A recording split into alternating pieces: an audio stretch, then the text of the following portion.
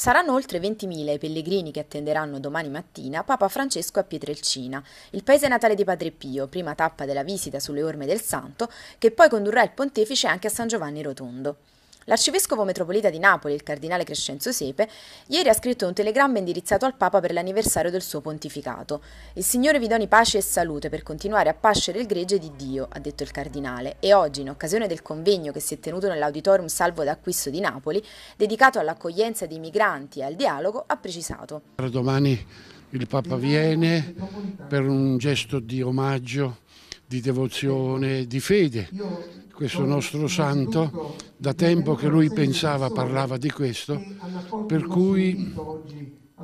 sarà un momento anche di risveglio della spiritualità, non solo di Padre Pio, ma anche di rivalutazione della spiritualità della nostra regione ecclesiastica. Al convegno intitolato Noi e i migranti, accogliere, dialogare, condividere, realizzato con l'intento di offrire agli studenti degli istituti campani un'occasione di confronto su un tema di grande attualità, ha partecipato anche il vice direttore della Caritas di Napoli, Giancamillo Trani.